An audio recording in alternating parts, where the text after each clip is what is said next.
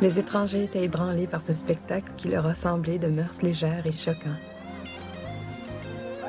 Même pour le Canada.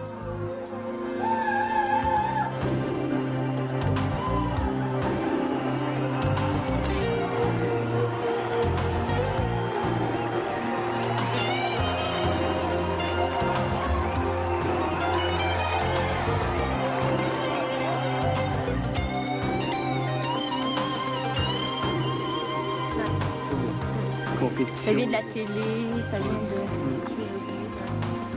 J'avais envie de... Imagine, on restait de été, puis on ferait des spectacles, je sais pas, plus culturels, des affaires intéressantes, des spectacles de piano, des choses comme ça. Oui, mais c'est justement parce que ça, mais ça a été longtemps un monde fermé, donc maintenant que ça s'ouvre, on a juste peut-être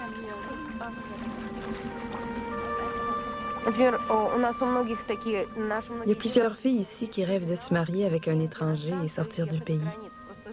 Je suis d'accord qu'on puisse admirer la façon de vivre des gens en Occident, ce qu'ils ont réussi à faire avec l'économie, leur pays, leur mode de vie. Je pense pas que nous ayons besoin de ce genre de liberté. En premier lieu, ce sont nos enfants qui doivent être libres.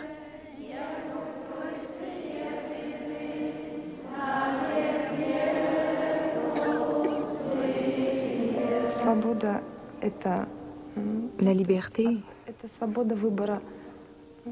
c'est un choix libre de nationalité, de religion. Une personne doit choisir elle-même sa façon de vivre et ses points de repère. Ce soir, c'est un gros jeu. Là. Les 700 enfants sont divisés en quatre groupes. Fait que là, on a pris seulement un groupe, c'est 180 enfants, pour former euh, un jeu euh, qui englobe toutes les idées collectives des volontaires.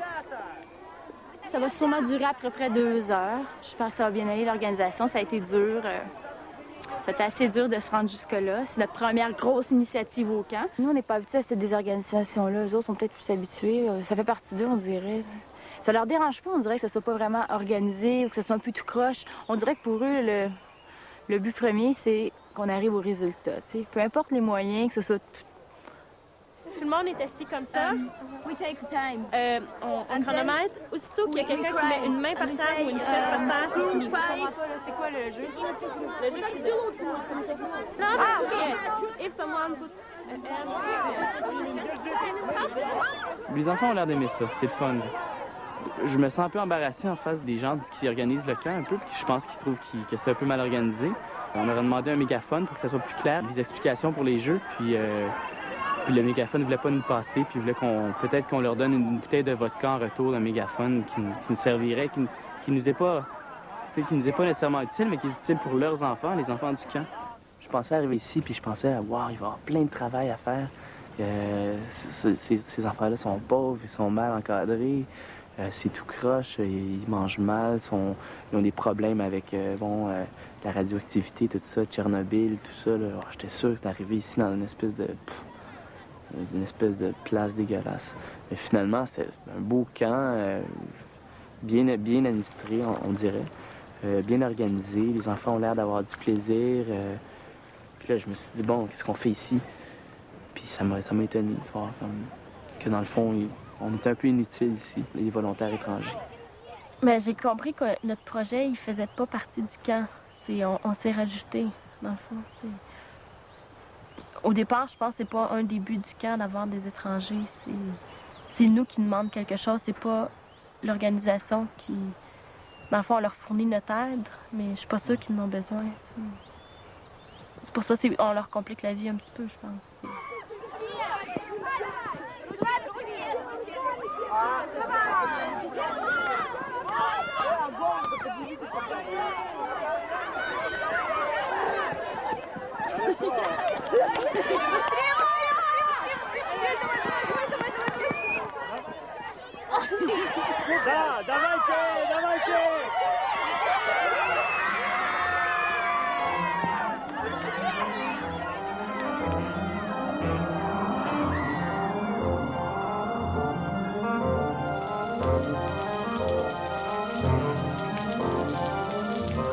Rythme qui est lent, trop lent. pour vraiment faire quelque chose de concret à ce rythme-là, il faudrait rester quatre mois, cinq mois. En trois semaines, là, on peut pas vraiment beaucoup avancer.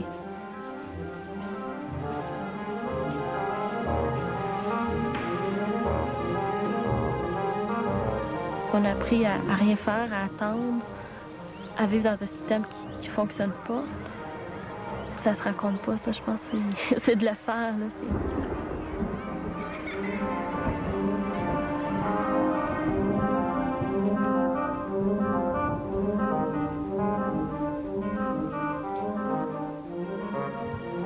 ça va un petit peu me manquer. Je me suis quand même attachée au lieu beaucoup, là. Mais ça va bien, ça va bien quand même. On a quand même réussi à accomplir des petites choses. Euh, peut-être moins que ce qu'on avait prévu, mais euh, qu'on avait des plans puis des ambitions au Québec, on ne savait pas du tout comment ça se passait ici. Fait que c'est sûr que ça correspond peut-être pas nécessairement à nos attentes, mais on a quand même réussi à accomplir des petites choses, je pense. C'est sûr, c'est mieux que rien. Hein.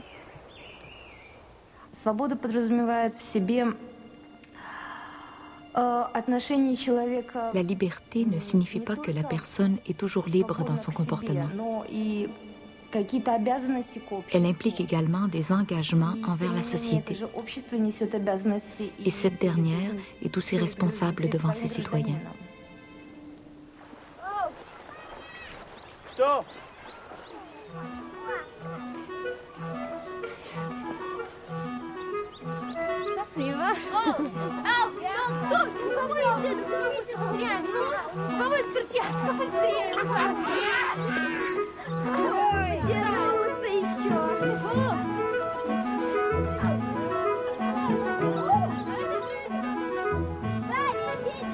Je pense que tout le monde avait le goût de faire quelque chose en partant, tout le monde.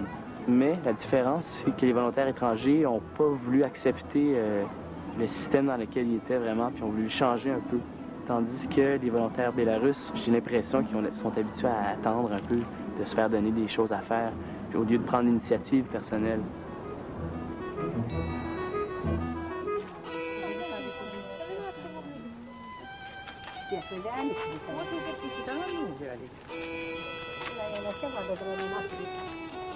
Si on nous compare à l'ancienne génération, celle qui construisait le communisme et espérait y vivre, notre génération est plus réaliste.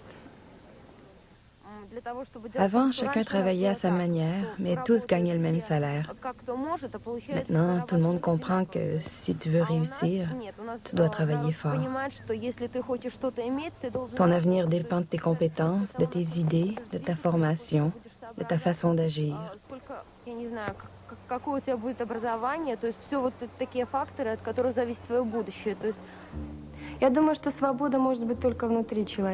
Je pense que la liberté peut exister dans l'esprit de l'homme.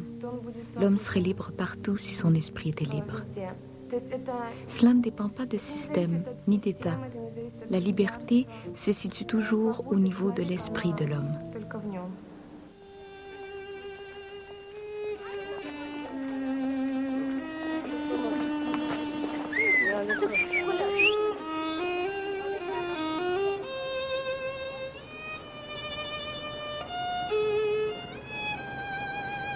Maintenant, je réalise qu'il y a des personnes super intéressantes qui m'ont carrément glissé entre les doigts.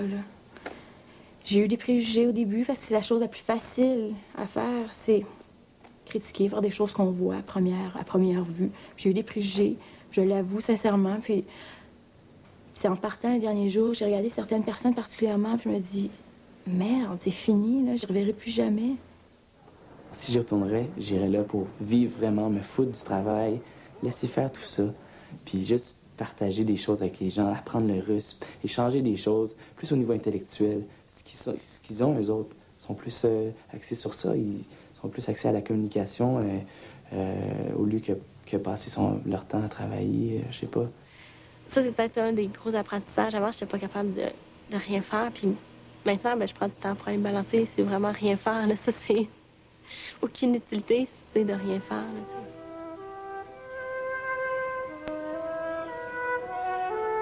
Mais c'est vrai que là-bas, je pense que j'aurais l'impression d'être plus libre. Parce que ici, dans une société où on valorise beaucoup plus le savoir-faire, moi j'ai décidé de travailler beaucoup plus mon savoir-être. Puis là-bas, j'ai l'impression que c'est quelque chose qui valorise puis qui encourage beaucoup.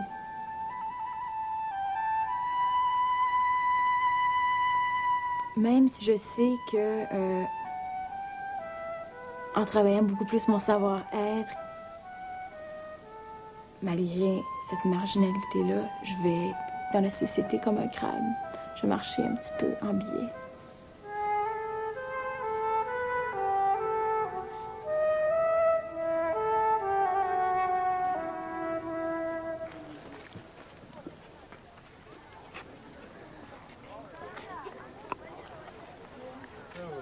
L'image qui me reste d'eux, c'est l'enfant qui sont pas heureux.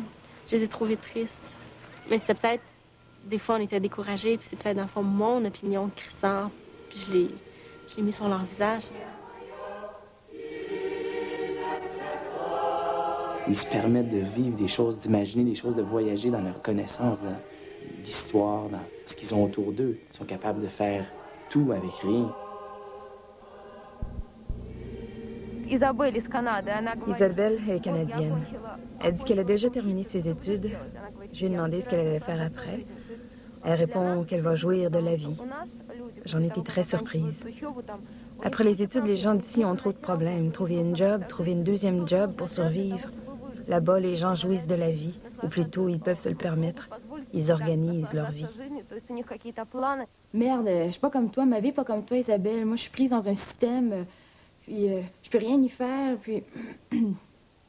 elle sacrait, puis elle se laissait aller, puis elle pleurait, puis... euh, c'est pas juste, qu'elle disait, pourquoi, là? Je peux pas faire tout ce que je veux comme toi, moi, Isabelle, tu sais. Puis moi, qu'est-ce que j'avais à dire? Dans le fond, j'avais rien à dire. Je pouvais juste écouter. Puis prendre conscience que la chance qu'on a, c'est une chance.